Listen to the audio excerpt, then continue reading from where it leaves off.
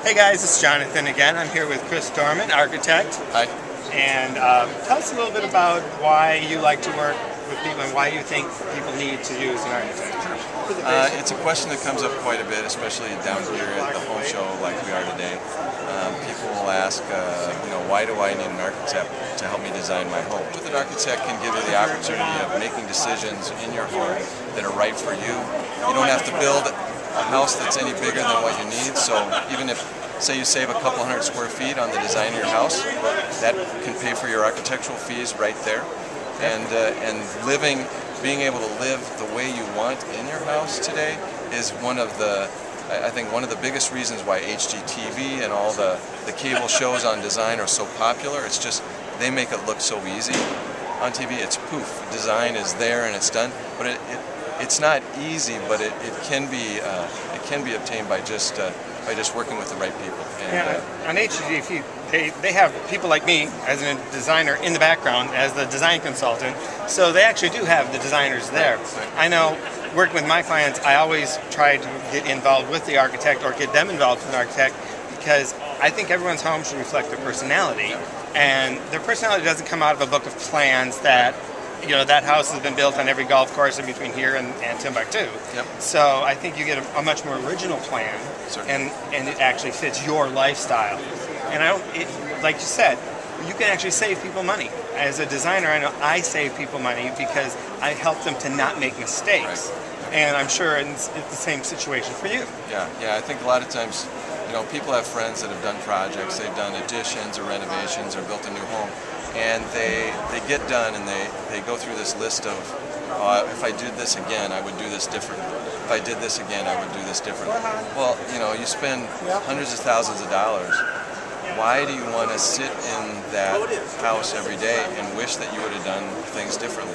If there's anything that you wish you'd done differently, it should be very small, very small items that uh, that come up just because of you know how you've lived in the house over the years that, that help you to see that. It shouldn't be uh, it shouldn't be big things that make you want to build another house in order not to have that issue again. And that's one of the things that uh, architects and designers can help you with, keep you from making those those mistakes as you move ahead, so that you you're able to enjoy the process and enjoy the outcome. I think that's a big part of it. I know one of the things that I, I've noticed as an interior designer and when I'm working with an architect and a client uh, you're mending, you're kind of bringing together two personalities, the, of the husband and the wife, or the partners, and that sometimes is, is a, a source of, of, contention, sometimes that a third party, or even a, a third and fourth party, can help blend that together seamlessly and come up with a design that actually fits both of them and, and takes care of that. Have you found that also? Yeah, and it's, uh, it's really interesting to see when you can develop the design that takes what may seem to be two uh, opposing goals, one from a husband and one from a wife, and resolve them in the same design so that uh, um, they both are happy in the same house.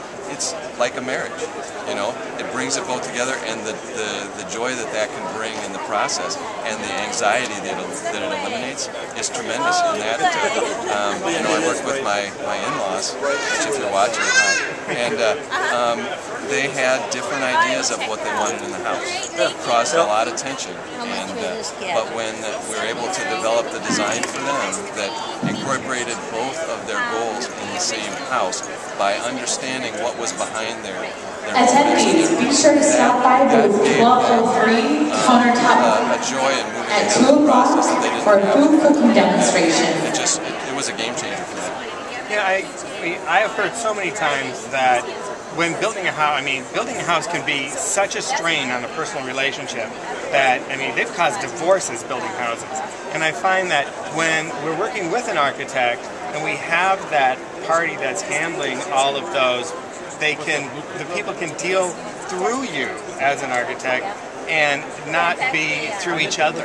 And I think that is such a, a, great working relationship. It becomes a symbiotic relationship between designer, architect, and client. So thank you very much, Chris. It's You're been welcome. really Thanks, pleasure meeting you. So.